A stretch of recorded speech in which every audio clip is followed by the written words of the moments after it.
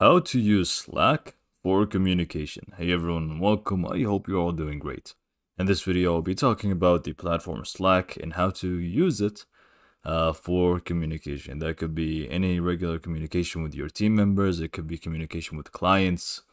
So it's going to work uh, the same way. And I will just go through step by step how to set things up, how to um, just work with Slack to get started with your communication properly. So to get started, you will need to go ahead and navigate to slack.com. Uh, and then from here, you can see, uh, you can just click on get started and create your account for free.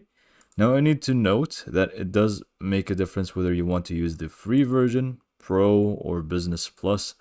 Uh, you can feel free to get to this page right here and see which ones suits your business best. Uh, but I'm just going to skip this. I'm not going to talk about everything in here. Uh, just feel free to get to this page and compare things yourself. But to get started, you just simply click on try for free. And then you will need to just go ahead and sign up. You can you just sign up using, using your email or you can just continue with Google like I'm about to do. Uh, regardless, it's going to be a very simple uh, signing up process, just a regular one, nothing too crazy. Uh, and I will meet you when I get to the dashboard. So I'm just going to skip ahead, or actually, let me just go ahead and uh, get started from here. So basically, we will be creating workspace. So a workspace is going to basically have a lot of channels underneath, and in each channel, you'll be able to talk to um, your team members for specifics. So, for example, a channel for general chat, a channel for news and announcements, and so on. But a this is all going to be underneath a workspace. Now, some people, if they want to contact uh, specific clients, they can create multiple workspaces, and each workspace is going to be for one specific client. This is one way to go about it. Uh, but there are also different ways to use it. But I'm just going to go ahead and create my first workspace by clicking on here. And it's going to take us through the steps to create one, which is giving it uh, a name and then setting up a few settings. So here is going to be what's the name of uh, your company or team. So basically, uh, since it's uh, the free version, you will be able to create only one workspace, I believe. So uh, you would you would want to name it something like your company name, or you can just go ahead and name it whatever you want. To be honest, I'm just going to name it example workspace because my mind is kind of blank right now with any ideas. So I'm just click uh, going to click on next. And here is going to be adding your name and profile photo to help your team members to recognize you. Very simple stuff. Add your name and the profile picture uh, and I'm just going to go ahead and click on next. I'm not going to change this. Uh, and here you can go ahead and actually just add all the coworkers that you want to have in here. This could be your clients, this could be your team members, or both. So you can actually go ahead and add them from here, or we can just go ahead and skip this and do this a little bit later on. Okay, completely up to you. I'm just going to skip this right now, and I will show you how to do it later on. Uh, and by the way, just so you know, you can actually differentiate between team members and clients uh, within the settings, and I will tell you how to do so as well. So just click on skip or add, completely up to you. So here is going to be, I believe, creating um, your first uh, channel. So I'm just going to name it general uh, chat. Click on next and then I'm just going to go ahead and continue with the free version. If you want to upgrade right away, then you can just feel free to do so. Uh, I will just start with free version. And I will do maybe later because I don't really need uh, the tour. So basically, this is going to be the workspace. Uh, like I said, if you want to create multiple workspaces, just uh, for each client, then I believe you'll need to upgrade but uh, I don't prefer to use that method anyway. Uh, and then you have your channels here. So we have the general chat, uh, we have the general already, and we have a random channel, which I will remove. And then we have the people here, so we can direct message all the people right away from here. So you can just go ahead and click on a specific person and you can direct message a specific person, uh, which is going to be great if you want to have, um, you know, more private convers conversations with each person that is in uh, your Slack account. So a few things that you need to note. Each um let's see. So each channel you can actually set things up for. So for example i'm just going to uh, go ahead and remove this channel. So it's not leave. We go to view channel details we go to settings and then we delete this channel. Uh, and click on yes permanently delete this channel i only need one general chat so i'm just going to remove this one and keep the one that i have just created so we just go ahead and delete. Okay, apparently I can delete this one. So I'm just going to delete the one that I have just created.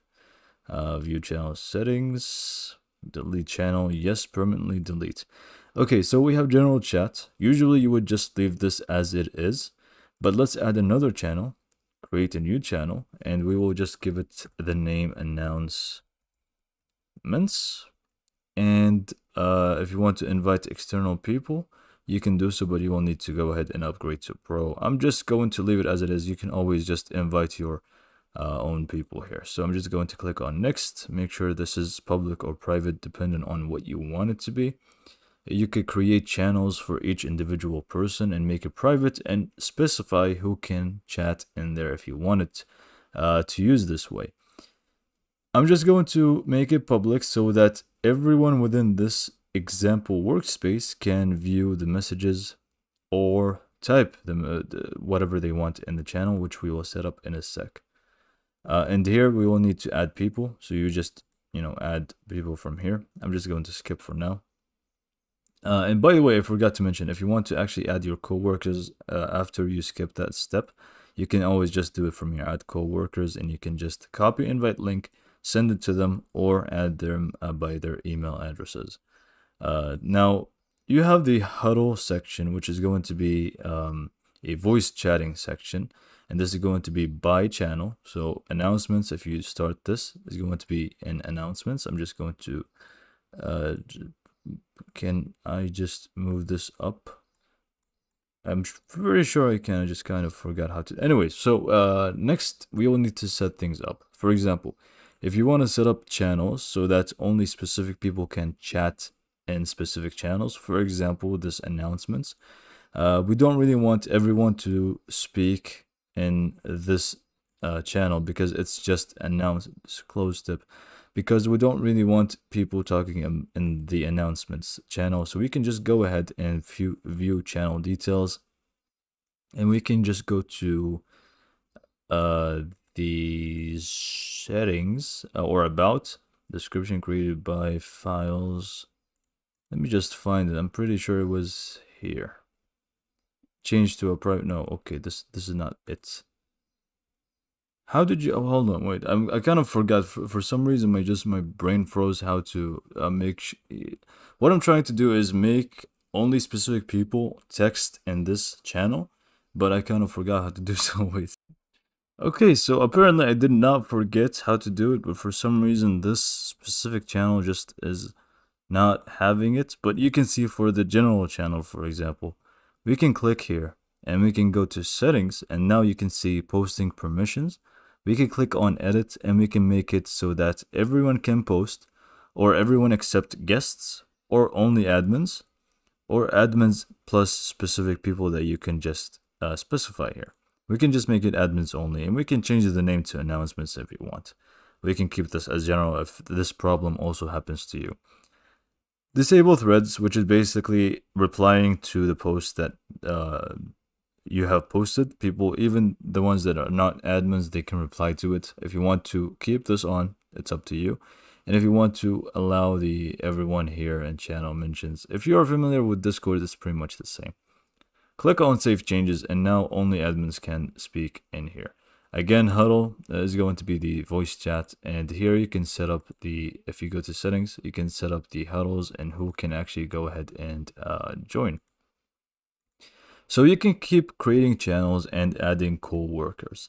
Uh, and this is pretty much how to communicate in here. And you can always, by the way, customize more stuff uh, in here. So if you go just click on the workspace, you have preferences, which is going to be more of your theme settings. If you want it to be light or dark, if you want to change how it looks like and that type of stuff.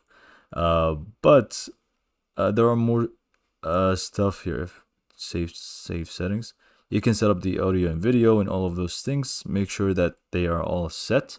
Uh, and also, don't forget to go to the tools and settings and you can go ahead and click on customize workspace or workspace settings, I mean, and you have plenty of things to work with. You have do not disturb, you have permissions, you have authentication, and a lot of things to set up.